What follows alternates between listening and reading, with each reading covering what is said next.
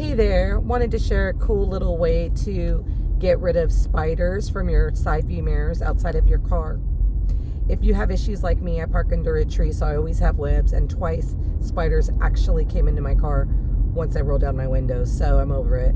Um, what I started doing, because everything else didn't work, was I pulled sprigs from my lavender tree outside my house and stuck them behind the mirror by just adjusting the mirror and then I sprayed lavender and peppermint oil, essential oil, in the back of those mirrors as well. And it's been two weeks, no spiders, no webs, and I'm happy. I guess insects and spiders, any type of bugs, hate those scents. So yeah, give it a try. Good luck.